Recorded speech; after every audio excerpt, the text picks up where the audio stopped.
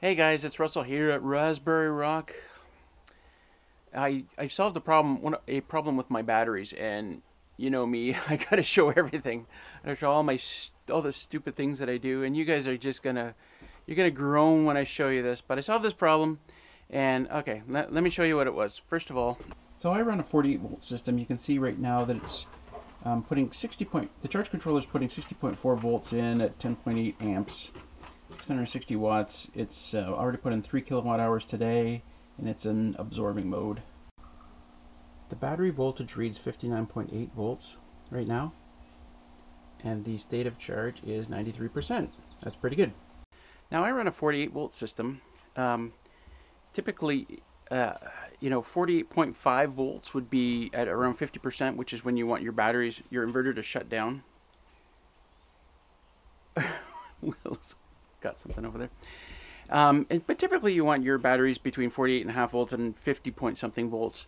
Um, if it's above 49.5, then you're above 70%. Between 49.7 and 50, you're in the 80, 70 to 80%.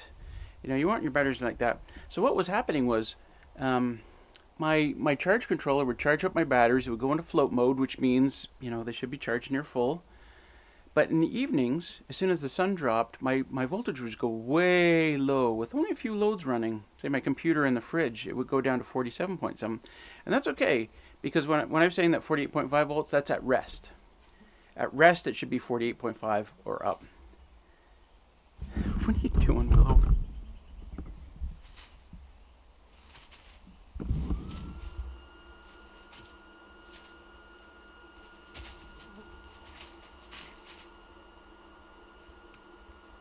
So, I decided to do some testing. Here's what I did. So this is my battery bank. I've got eight batteries and they run, and they're each six volts. So you add them together, you get a 48 volt system. So first thing I wanted to do is to make sure that this the batteries were actually, sorry, the inverter was actually showing the proper voltage, what they really were. So if you, let me get a little platform up here.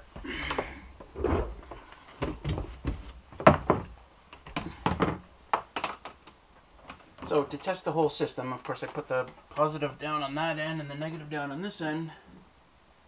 And it was showing, yeah, 47.5 volts or whatever it was that evening that I did that testing. So I thought, well, let's test each individual battery.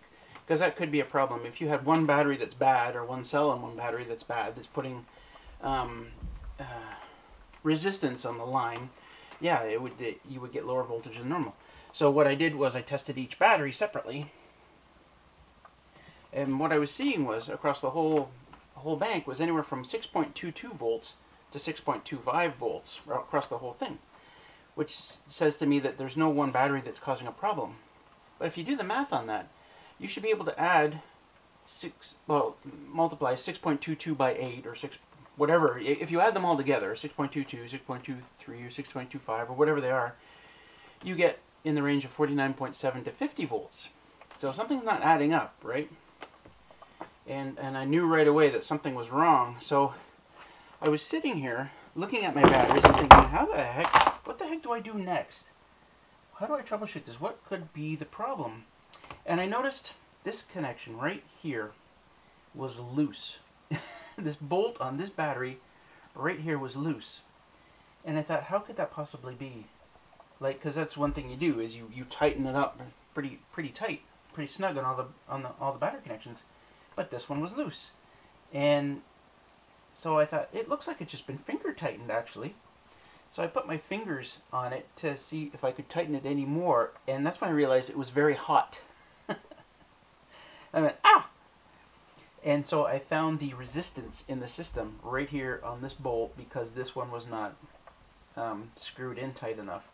Which is odd because it looks like the cable had a nice um, flat connection on the on the battery terminal. It, it looked like it was pretty connected, but anyway, I got my, my wrenches out here and I tightened it up as tight as I could. Then I checked the voltage again, and lo and behold, I was at 50.0 volts across the across the whole system, even with my loads running, my computer and my and my fridge. I thought, oh shit.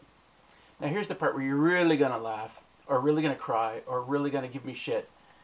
Um, I was trying to think, why did this happen in the first place? Because I haven't disconnected these batteries in ages. I've disconnected these two, the first two, when I moved the box out uh, to do the work back in here in the wall. But I didn't disconnect this one. This one hasn't been disconnected since we moved the batteries from outside to inside way back in the fall. when my buddies Ray, Ray, and Ryan were here and they helped me cut down that pine, pine tree. And so, yeah, all this time I've been hating on my batteries, thinking I need to replace them. They're really bad. And this little problem. Now, you'd think that's something I would have checked by now. But I, I don't do everything perfectly, do I? You know that by now. Ah, anyway, I got another problem to talk about. Let's talk about that.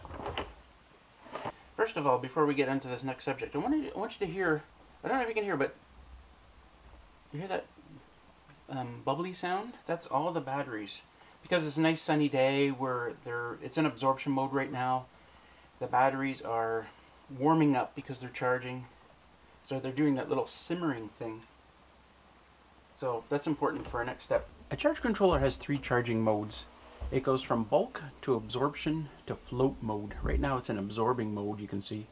So now the settings for, for when it changes over are uh, from the battery manufacturer itself. The, the manufacturer states that um, you should be in bulk mode until you hit 60 volts. 60.4 volts is what I've got it set at.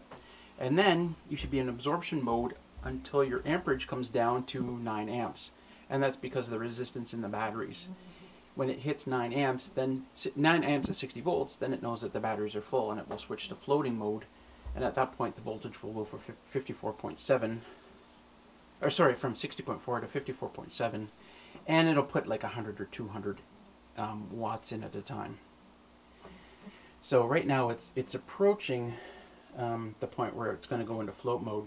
And this is kind of weird because the two days after I fixed the problem with the batteries, it did not go to float mode. It sat there, it went down to about 12 amps and it sat there and it went sat there for hours and hours. And while it did that, um, the batteries were bubbling the whole time and I, I kept coming out thinking, what the hell's going on? It's not, it's not coming down to the 9 amps. So this is my new problem, except today it has gone. So the last couple days it hasn't gone below 12 amps, but today it has gone. It's down to 9.5, 9.6 amps. So I'm not sure that I have a problem or not. Now the setting is, it either goes to 9 amps or it charges for 5 hours, I think the setting is, or maybe it's 6 hours in absorption. And uh, yeah, that seems like a lot. Especially since um, even before I fixed the battery problem, you know, the it would stay on absorption for a couple of hours and I would still have, you know, 50 volts at night. Like nothing has changed that way. It doesn't, my batteries aren't any more charged because it spends more time in absorption mode. Alright, so this is weird. The voltage had gone, or sorry, the amperage here had gone up to 10.5, 10.6, and then the fan came on. Now the amperage is going way down, so I guess with the charge controller heating up, something, it's just a new cog in the system that I gotta look at. There's something new I gotta keep my eye on. So have I damaged my batteries by having that resistance between battery 4 and battery 5? I don't know. I don't know. It's it's one of those things like the batteries are nearing their end of life. A battery, you know, batteries like that are typically good between, you know, 5 and 10 years old uh, they, they tend to die, and they're seven years old right now. So they're getting old. Have I damaged them? Probably. You know, what else is going on? It's one of those things where I'm just going to have to watch it and see, and see what's going on. And um, one of the changes I made in my charge controller is I changed that six-hour absorption time down to two hours. And then I'll just watch the battery voltage at night. You know, do I still get the same battery voltage whether it runs for two hours or whether it runs for six hours? We'll see um, and then I'll, I'll, I'll just kind of play it by ear.